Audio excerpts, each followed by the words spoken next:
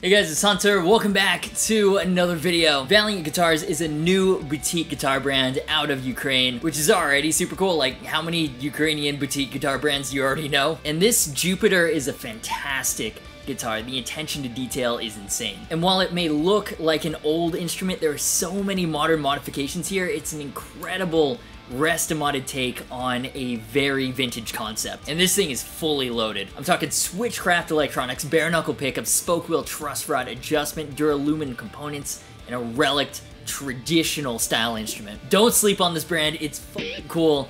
Let's take a closer look.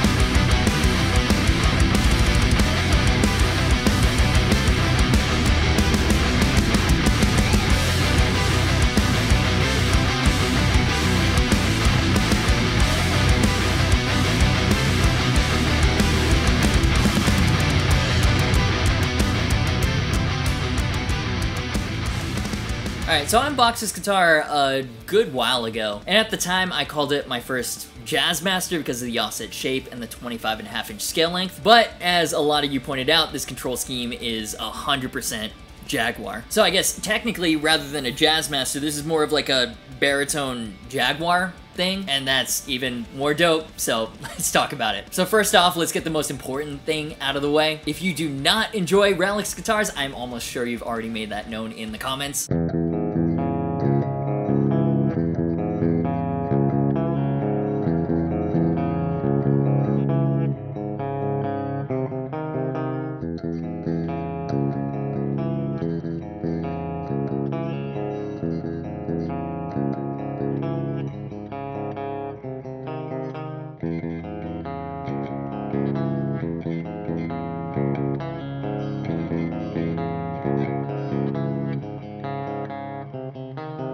People who don't like relic guitars are not shy about sharing that opinion when absolutely nobody is asked, and that's completely okay. Valiant has non-relic options as well, so the fact that this particular one has been artificially aged shouldn't put you off the brand. And personally, I love relic instruments. I love the way they look, and more importantly, I love how played in and comfortable they feel when done right. And Valiant has done this right for the most part. The body is tastefully aged, there's a ton of finish checking, and the European alder is even exposed in certain places. It feels naturally played in. It's not just damage, which lesser quality relic jobs are absolutely sometimes guilty of. The guitar looks like it's had a rough but musical life, even where the finish hasn't been completely rubbed off. It's still dinged, it's still scratched up, the pickguard and control plates have been scratched up too, to complete the look. It's all just incredible. Then it's got a bolt-on maple neck with titanium reinforcement.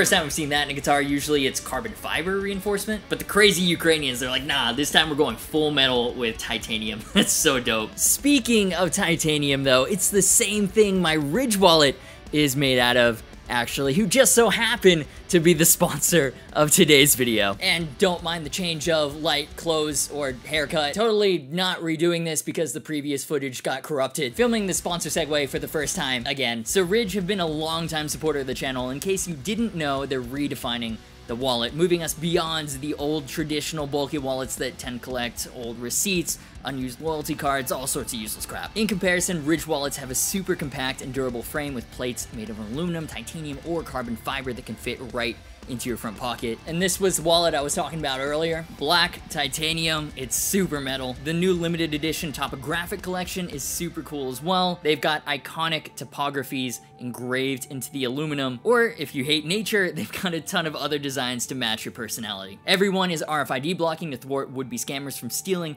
your card information, and I love mine. I'll never go back to a bulky wallet. I love the minimalism. And if you want to see why so many people are switching over to the Ridge wallet, head on over to ridge.com slash Agufish. And for you guys, if you use the code Agufish, you'll get 10% off your order with free shipping. Link in the description, lifetime guarantee, embrace minimalism while supporting the channel. Ridge.com slash Agufish, code Agufish. And while talking about titanium wallets is cool, let's go back to the guitar. So in part, thanks to the titanium reinforcement, this neck is solid. Valiant have warned me the guitar might need a total setup since it is sat in a warehouse for a long while while I was awaiting shipping. It's pretty difficult to ship things internationally right now, understandably, and uh, it just needed a slight, and I mean very slight, truss rod adjustment. But that is literally it. Other than that, nothing. So that was a great sign. Then when I actually got to playing it, I mean, it feels like a lot of the finish has been rubbed off the middle of the neck. The headstock's been dinged up too to match the relicing on the body. It just feels so, so awesome. Then the fingerboard caught me off guard because I thought it was rosewood. It's not. It's roasted hornbeam. I'd never even heard of hornbeam before. After a quick Google, turns out it's classified as something called an ironwood, and it's, quote, rarely used in carpentry and furniture making due to the difficulty working it. It's supposed to be incredibly dense and durable already, and then they've roasted it too. Crazy Ukrainians. But hey, stability is not a problem with this guitar at all, so apparently it's worked, and I'm not complaining at all. I also love the manner in which the fingerboard's been aged. A lot of times with aged guitars, the body will be nicely reliced, nitro checking, worn finish on the back of the neck maybe, hardware patina, all that, and then the illusion is ruined when the fingerboard looks brand new. But even with this hard-ass roasted hornbeam, Valiant has made the fingerboard look old. There's a ton of scuffs, little dents, like like, this fingerboard looks played the f in. Something I found a little amusing, though, is that even though the fingerboard looks like it has all this playwear, it doesn't actually feel like it. And it's partially because the jumbo frets are brand new, and that's a good thing. Can you imagine if they put old corroded frets with dents on them in there? No thanks.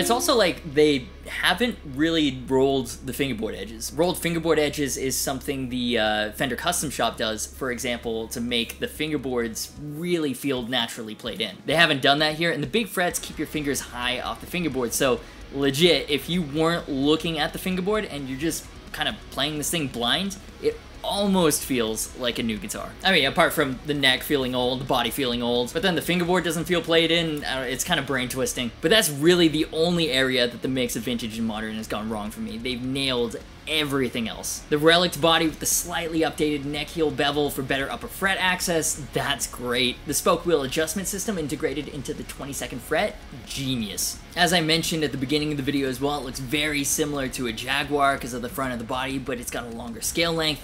Jaguars are normally 24 inches, which is quite short. This is 25 and a half inches normal fender scale, so it handles drop tunings much better. And the fingerboard is a Gibson-esque 12 inches for a more modern feel than the looks would initially suggest. That with the modern C neck shape, I mean, this is a modern player 100%. And if you're like me, from all the pictures and b-roll, you might have also thought that all the metal plating and everything was chrome or nickel. Nope, it's made of something called duralumin, which is an aluminum alloy. Apparently it's most often used in the aviation industry because of how strong and lightweight it is. It's also used for vehicle armor in the defense industry. Crazy, crazy Ukrainians. And they've used duralumin everywhere. The pickup covers, the control panels, the neck plate, the control knobs that look awesome with the wooden indicators, even the bridge. And then, did they use regular brass saddles? Nope, of course not. It's Bell Bronze. Crazy Ukrainians. And if you thought duralumin parts and titanium neck and reinforcement wasn't enough, Valiant have gone full Jurassic Park in this with the features, sparing no expense. D'Addario Planet Waves auto trim locking tuners, and can we just take a second to appreciate the black thumb screws and locking mechanism, it looks sick. Although I am hearing the newer runs will come with Gotoh 510 locking tuners instead, which are great, but these look way cooler and have the unnecessary but still fun and actually kind of useful auto trim features. So get this run before they sell out if you want the Planet Waves. Graph Tech Nut and Strain Trees too. I mean, it's genuinely insanely specced. And that's before we've even gotten to the pickups, which is a bare knuckle riff raff set. I mean, honestly, the more specs we run through, the more ridiculous this guitar gets. But Valiant were a bit concerned about sending this guitar to me because they were like, I don't know, these are old school vintage voiced humbuckers, they might not chug. Bruh, they're bare knuckles. They chug.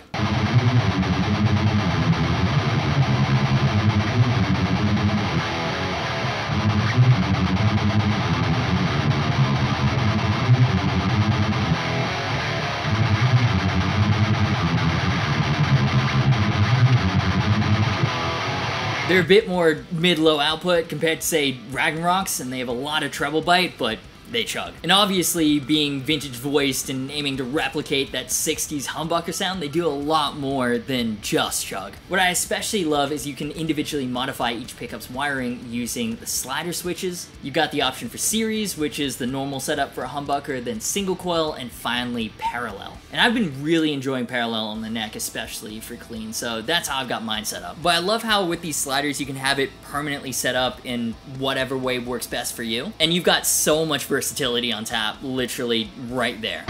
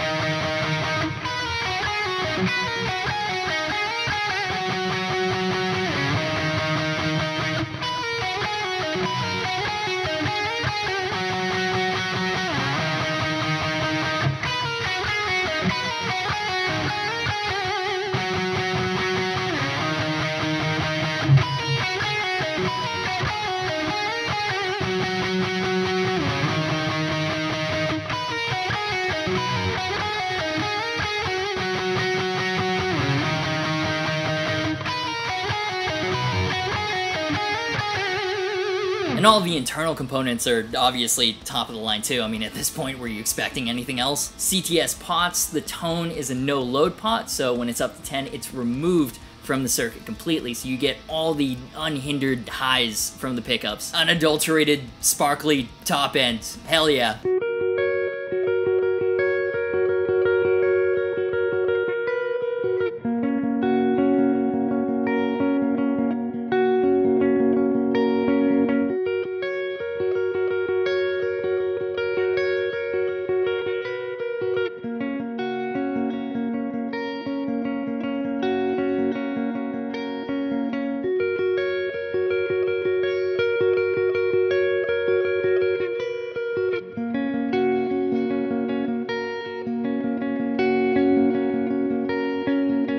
Switchcraft pickup selector and three-way sliders, pure tone output jack. The capacitor is listed as Soviet paper and oil military spec.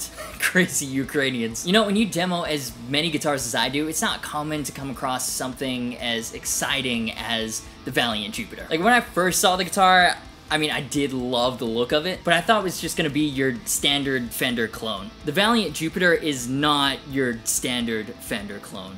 It's better than that. It has the aesthetic and the vibe of an old guitar, but it's been massively improved on, built from the ground up for the modern player. It mixes and matches so many familiar elements, 25 and a half inch scale length, 12 inch fingerboard radius, Jaguar electronics layout. Then they've gone and done so many premium upgrades, Duralumin components, bell bronze saddles, Gotoh locking tuners, bare knuckle pickups. Doesn't hurt at all that the thing has an incredible relic job. Next time, uh, please roll the fingerboard edges. Really the only major piece of constructive criticism I have for Valiant. Oh, and strap locks, you want to protect this thing. Other than that, incredible concept, great execution. I love this guitar. You see me use it in a couple of videos now ahead of some of my more expensive big name brand instruments because I just love playing it. Expect to see a lot more of this crazy Ukrainian guitar on the channel because it's f***ing awesome. So of course, those are just my opinions on the Valiant Jupiter. I'd love to know what you're thinking down in the comments. If you enjoyed the video, do me a favor, hit that like button up, subscribe, hit the bell for notifications that way you don't miss any new videos from me. All that stuff actually really helps out gaining favor with the algorithm gods. Massive thanks to Luke for nailing the demo mix and to Jordan for editing the video. And of course, massive shout out to Remco and the rest of the amazing patrons for making it all possible. Social media, merch, and Discord server links are in the description. As always, thank you so much for watching. You've been awesome, and I'll see you for the next video.